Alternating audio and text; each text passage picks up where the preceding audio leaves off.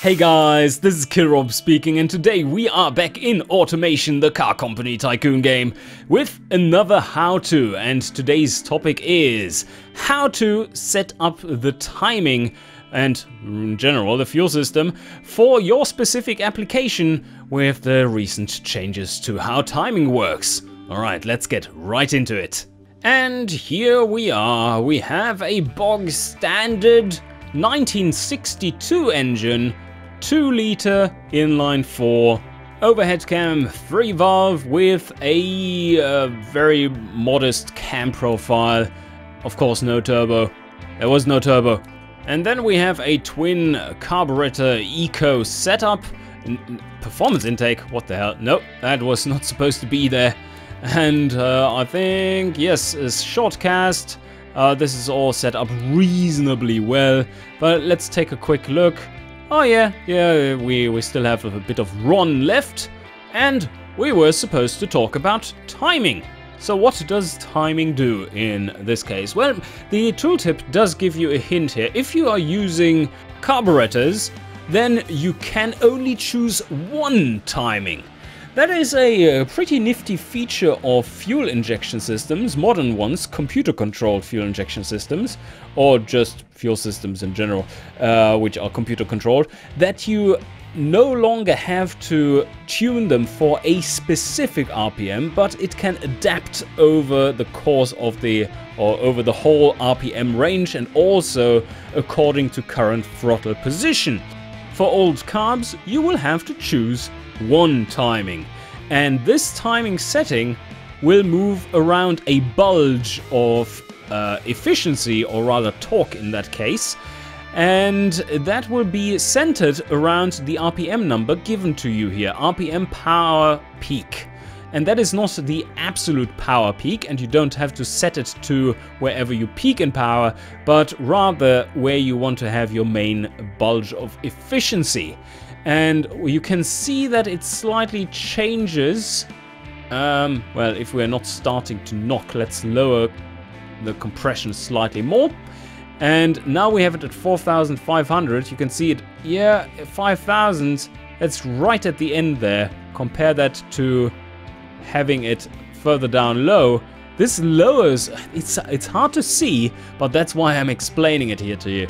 Okay, so now the bulge actually is at 2500 RPM, which is pretty accurate. We have it at 2500 RPM here versus a completely different torque curve when we have it here. Still says it's at 2700 RPM and overall it's actually higher. But if you lower your timing, you will be able to pump in a lot more compression into your engine, which will then again lift the overall torque curve. So it's really about moving this bulge to where you want to have a good amount of efficiency. If you're making an eco engine, then you want to have it between like 2000 and 3000 so that you have a, good response down below and you have good acceleration up to uh, higher engine speeds. If you are making a performance engine, you will want to have it around 5000, I would think, and probably not going too high. 5000 would be at 60. That is pretty good. If you're making a real, like, real high-end engine for early days, then sure, set it at 80 or something.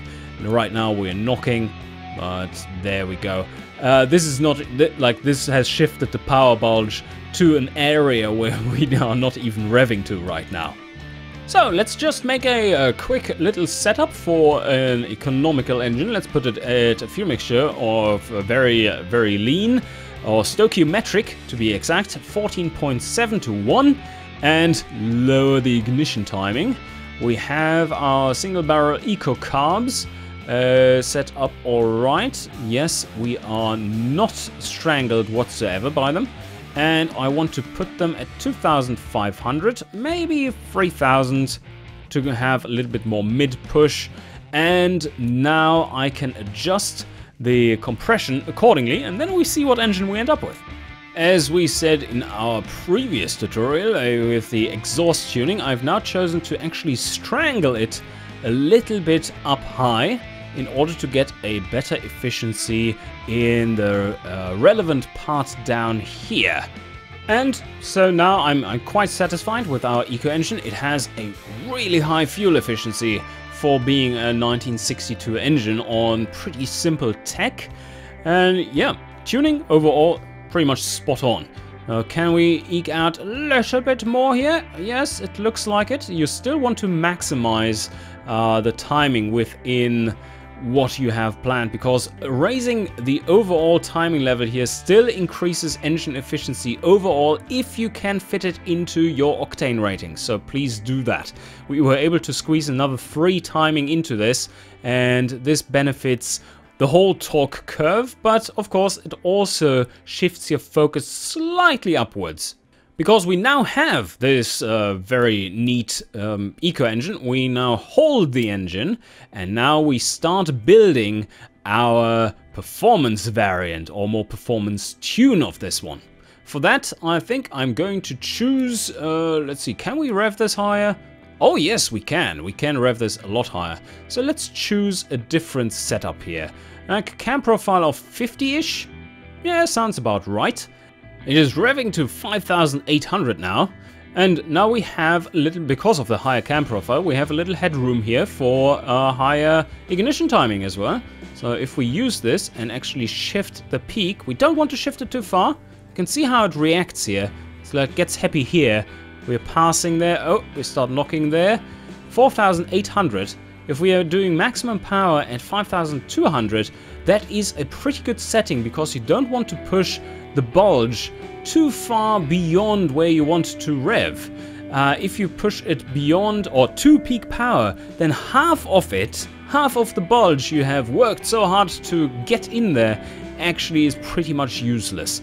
Uh, or, well, only in racing application where you rev beyond peak power for optimal acceleration times. But now, yeah, you can see here, maybe we even want to shift it a little further down, 4200. Yeah, I would I would say like aim aim around here, a few hundred below your peak power if you're on carbs. That is a good compromise if you're going for uh, peak performance. And well, you see the difference. Now we are at 15.3 uh, fuel efficiency compared to 17.5. It has really taken a bite out of this range here. But overall we have a higher torque number. It is more efficient up here in the mid-range but uh, before that, so for direct comparison, right now we are at 152 newton meters at 3300 RPM, and before we were at 146 at 2.7. But let's take a look at what we have at 2.7 right now, and that would be 144. So it is at that point it is less efficient right now than it was before. And that is still with an exhaust that is strangled, so that will change now. Let's see. So we open up the exhaust slightly and now take another look. Uh, now at 2700 we are actually just at uh, 142 instead of 146. So yeah, we have, especially down here, have lost a lot of efficiency. You can see it from this number, 14.9% versus the 17.5 we had previously. And now I'm going to switch back Hold engine, abandon held engine, no, revert to held engine, and flop.